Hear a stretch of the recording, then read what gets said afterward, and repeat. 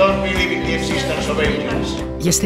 Σκηνοθεσία Αλίκη Δανέζη Κνούτσεν. Στο θέατρο ΘΟΚ. Χορηγός επικοινωνίας Αντένα.